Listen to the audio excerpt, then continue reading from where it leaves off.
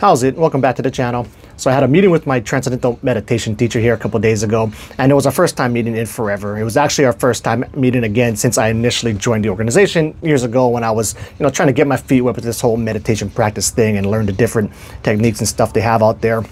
But long story short is it was so long since I ever tried to use the actual transcendental meditation techniques that I completely forgot my super secret personalized mantra that you get through this little ceremony thing that they do. And on top of that, I also kind of forgot like the specifics on how to do the practice exactly as well.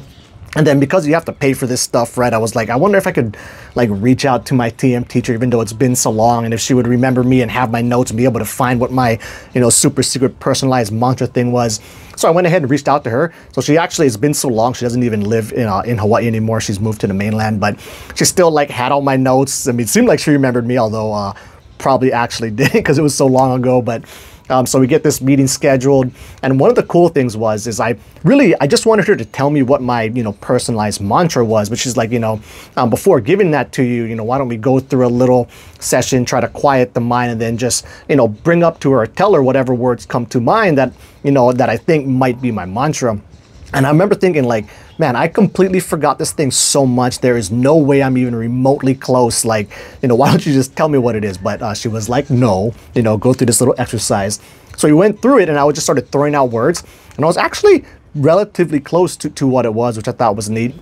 Anyway, so she gives me, um, you know, what the actual word is specifically, and then we run through a little, you know, session and kind of question and answer thing about the specifics of the practice, in which, you know, something really interesting brought up in there. So while we were going through it, you know, she's having me, um, you know, you do these couple other steps, but eventually you start bringing this mantra to mind. And for me, the only time I ever use mantras personally in my own meditation practice is actually for my lucid dreaming practice, where I'll do like a form of the mild lucid dreaming technique, where as I'm going to sleep, I'll be repeating some sort of mantra or phrase in my head. And for me personally, I like to do it in time with my breath. I try to keep it, you know, as short as possible. So preferably like, you know, two words essentially. So like inhale, I think I am. Exhale, I say in my head, lucid. And I just keep riding that wave until I, you know, drift into stage one of sleep and hopefully get lucid and all that stuff afterwards. But the point is, is I do it with my breath.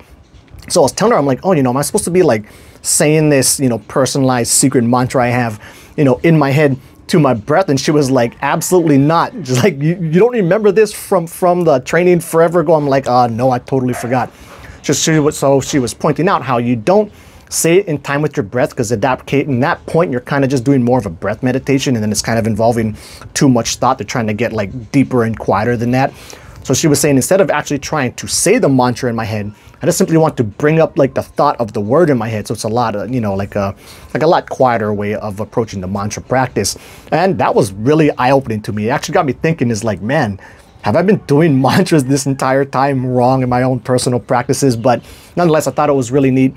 And we went through this quick little session on it. And, you know, I would love to like share the specifics of the practice, but she kept telling me how like, well, she didn't keep telling me, but I was telling her I was taking notes right? Because I was like, man, I really want to remember this stuff. Because when I did it in person with her last time, you know, you're not supposed to be over there like writing down word for word everything they're saying about all the ins and outs of the practice.